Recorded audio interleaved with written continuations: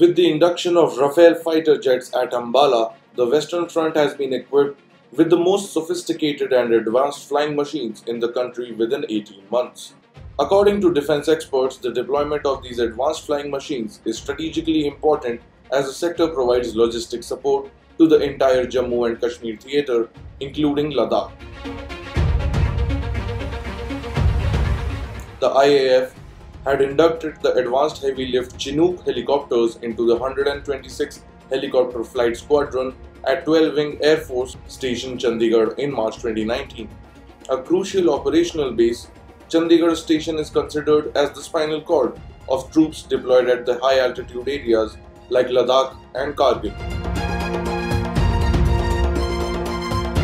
The versatile multi-role AN-32 and the strategic lift IL-76 aircrafts housed at the Chandigarh Air Base forms the backbone of the nation's security in J&K, Siachen and Ladakh sectors and has played vital roles in several conflicts.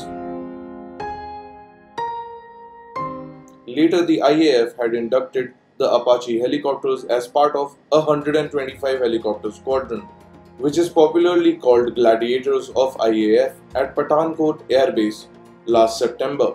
Pathankot provides an essential operational range for deep air raids in the entire western and northern theatre to meet any eventuality. The induction of Rafale at Ambala Air Base, which is the country's oldest and largest airbase, would provide more air power to the armed forces which are guarding the country's borders in most inhospitable conditions in Jammu and Kashmir and Ladakh regions from Pakistan and China.